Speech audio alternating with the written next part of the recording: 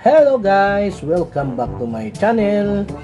Uh, today's vlog guys is about sa aking conversion ng aking Prino about sa from this from drum type to disc brake. So i-review ko ngayon guys para sa inyo na sa mga nagbabalak dyan na mag-convert ng Prino na i-convert nyo to disc brake So, ito ang may bibigay kong tip sa inyo. Ito ang isi-share ko na experience ko about sa aking na natutunan sa mga gastusin at sa mga piyesa na bibilihin about sa pagko-convert. Sana ay tapusin mo ang vlog na ito para sa mga nagbabalak na magko-convert ito ay para sa inyo na mga tutorial at tips para kung ano ang inyong gagawin. So, bago ko umpisahan guys, intro muna.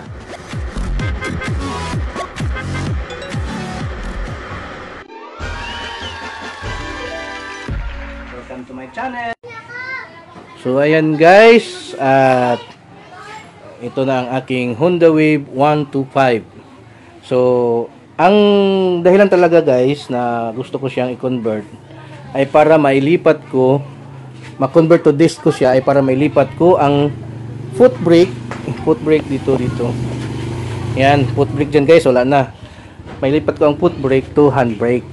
Yan ito so ito na ang brake niya guys. Ginawa kong parang scooter na siya. Tulad niyan scooter na ito. So wala lang foot brake. Nasa hand brake na lahat ang brakes niya. So kasi para hindi ako malilito guys kung palagi ako mag-drive dito pag punta ko doon malito ako kasi maghanap yung kamay ko ng brake na uy wala palang brake. So kaya ang ginawa ko, insa ko sila pero ito siyempre may shifter pa rin diyan. Yan ang kambyada niya pa rin. So kaya inilipat ko ang foot brake to hand brake. So yun ang dahilan guys at saka isa rin ang at saka sa kalumaan niya na rin. So ipakita ko sa inyo guys itong ating uh, drum type. Ito ang drum type guys. Yan. So yan ang pinalitan ko guys. So plaster muna, plaster. So, ito ang unang convert na buong akala ko ay 5,000 pesos okay na. So, dahil sa, kung bibili ka ng one set na plans, ito, ito lang bilhin mo. Ito, para sa disc brake. Ito ang disc brake dala niya. One set ito guys. Yan. Ay okay na siya. Hindi pala maganda guys. So, bakit? Kasi, ito siya, itutusok lang dito, babarinaan. Pakita ko sa inyo guys. Yan. So malalim na rin ito guys. Isa rin ito sa dahilan na pinalitan ko. Bago ang lining niya, pero malayo ang foot brake, medyo malalim. Nilagyan ko na ng alambre. Yung kung makita, alambre. Inikot ko. Ganun pa rin. Malalim pa rin ang brake. So, ang ginawa ko, i-convert ko na lang Then para rin magawa na maging handbrake na, hindi foot brake. So, ayan guys, ito ang nabili ko sa unang unang conversion ko. Ang ganda dito guys, ay gaganituhin yan siya. So, ito ang bubutasan dito guys, yan. Bubutasan at diretso lang salpak. Ayan. Okay, sa salpak yan. Sa ito butas niya din. Ah, hindi. Sa kabila. Sa kabila. Ayan. Then, lagyan ng bolt. So, lagyan ko ng bolt guys para makita nyo talaga. So, ayan. Nakabit ko na guys. Dalawang bolt lang kinabit ko guys para lang madimo ko sa inyo. Ganyan lang guys. Ipadikit lang dyan, ganyan. So, hindi natin malalaman kung fix ba siya. So, ang nangyari guys, pagkabit ng disc brake, ito disc, lagyan natin ng dalawang bolt lang para makita niyo talaga guys kung ano ang diferensya. So, kaya pinalitan ko na naman. So, nadagdagan tuloy ang gastos ko. Imbis na 5,000 lang nagiging umabot ng uh, 10,000 yata, 9,000 mga ganyan ang gastos ko guys. So, Ayan siya guys. Ganyan ang paggagawa ng desk at ang plastada. Ayan. So, yan na. Okay na siya. So, kabit na doon guys. Ngayon, pagtakbo guys, yung desk, gumaganon-ganon. Gumigiwang-giwang. Yun pala ang nakapangit doon. Kasi, hindi siya fix dito. Kaya, ito hindi ko ito i-recommend guys talaga sa mag sa mag-convert. Huwag nyo talaga yung gawin. Sayang ang pera nyo, ang araw, ang oras. At saka, ito guys, ang sprocket niya. Ayan. Ayan, yan siya. Ayan, so, at saka guys, kabigat-bigat niya. Mabigat. Iba doon sa Sonic Hubs. Yun ang magandang ipalit nyo guys. Ito hindi ko ito i-recommend guys sa inyo. Then, so yan ang una na conversion guys. Yan na, ganyan na. Pag kabit ito, kabit na doon, kabit ng caliper, so okay na, kabit na siya. So yun ang kwan. So ang ginawa ko, bumili naman ako ng bago set na, kaya ganun ang nangyari sa ati ang ating rim.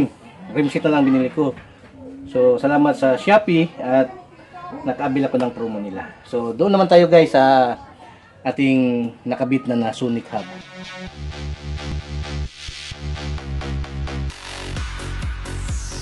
So ayan guys. So yan ang Sonic Hub. Yan na ang perfect na conversion ko guys. So wala nang gigiwang-giwang guys. Hindi na gumigiwang.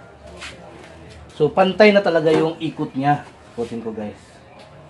Oh, wala nang stack up. Yan. Kasi fix na fix na siya guys. Sonic Hub. Yan ang magandang conversion.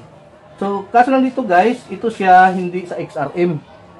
Kundi ito sa Raider 150. Ang nakaiba naman sa XRM at ito guys, sa Raider, yung kanyang sprocket.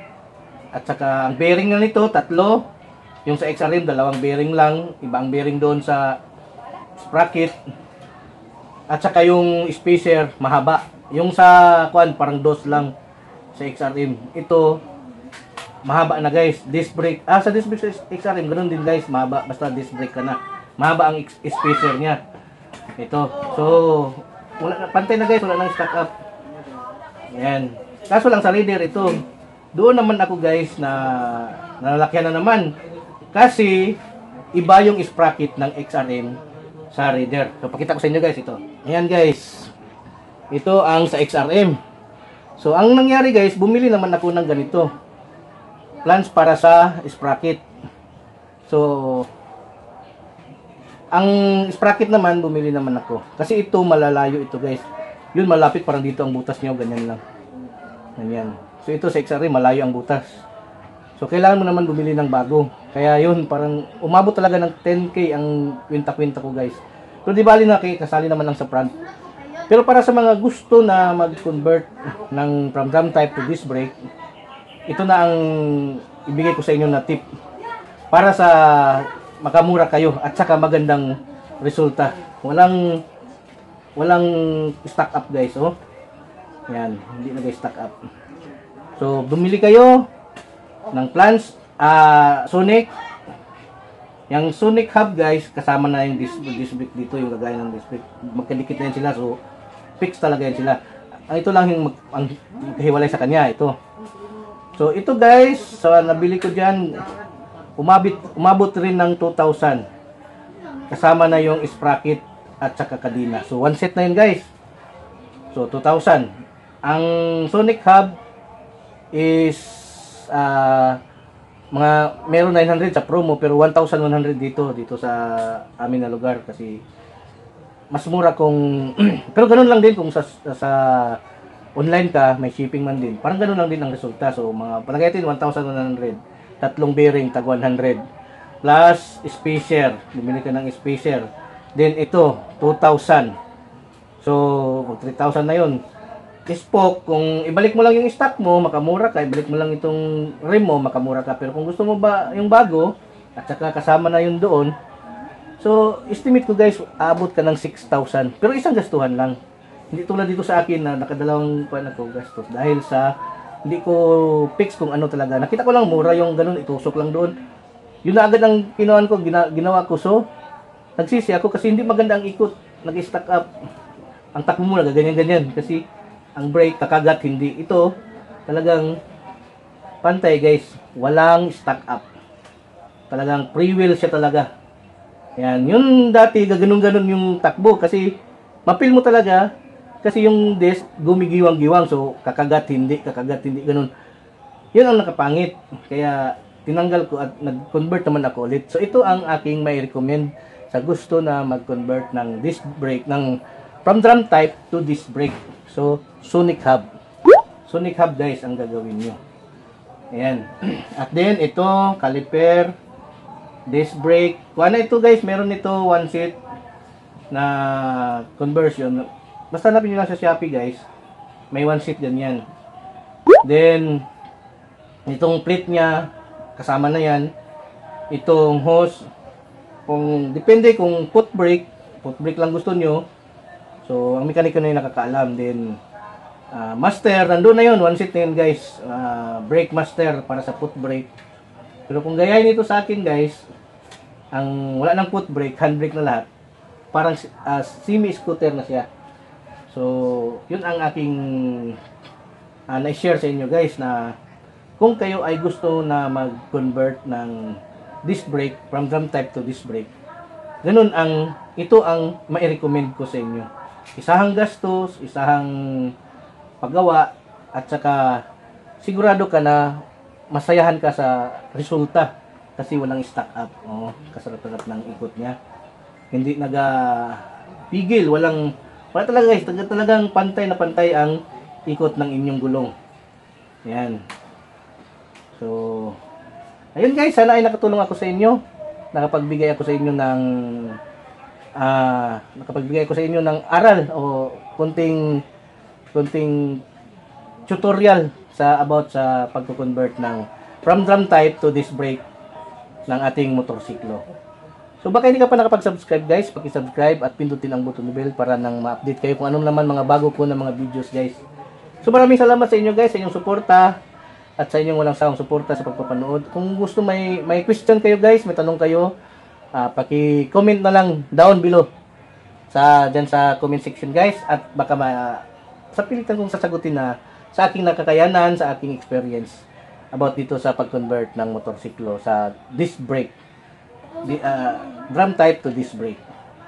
So, ayun lang guys, wala naman siguro kung kailangan na paliwanag sa inyo na about dito.